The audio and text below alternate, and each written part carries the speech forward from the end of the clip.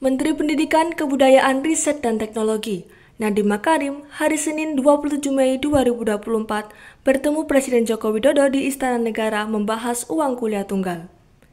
Nadiem menyebut, Kemendikbudristek resmi membatalkan kenaikan UKT. Dengarkan semua aspirasi dari berbagai stakeholder. Jadi saya mendengar sekali aspirasi dari berbagai macam mahasiswa, keluarga, dan masyarakat eh, mengenai concern mereka mengenai adanya peningkatan-peningkatan UKT yang terjadi uh, di PTN-PTN kita. Dan memang itu saya melihat beberapa angka-angkanya dan itu juga buat saya pun cukup mencemaskan. Ya, jadi saya sangat mengerti kekhawatiran tersebut.